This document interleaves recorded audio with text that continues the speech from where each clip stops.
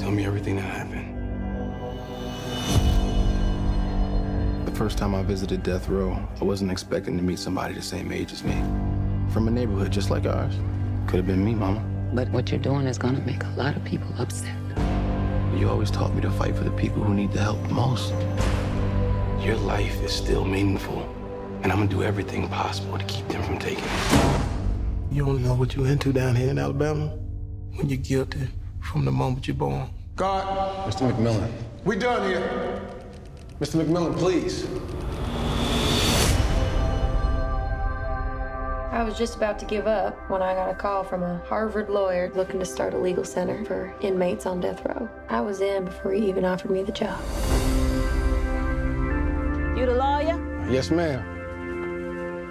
Thank you so much for driving all the way out here. Most lawyers barely make time to call. I can't believe you talked to all my people and said you're gonna fight for me. I did. That mean a lot.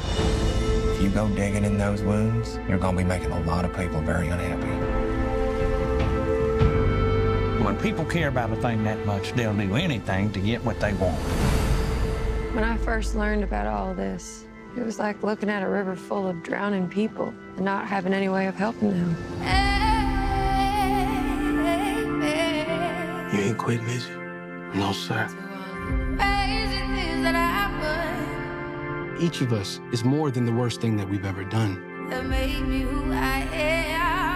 I know what it's like to be in the shadows. It's my dad. He did nothing wrong. It's never too late for justice. You're the only one kid enough to fight for me. If we can look at ourselves closely,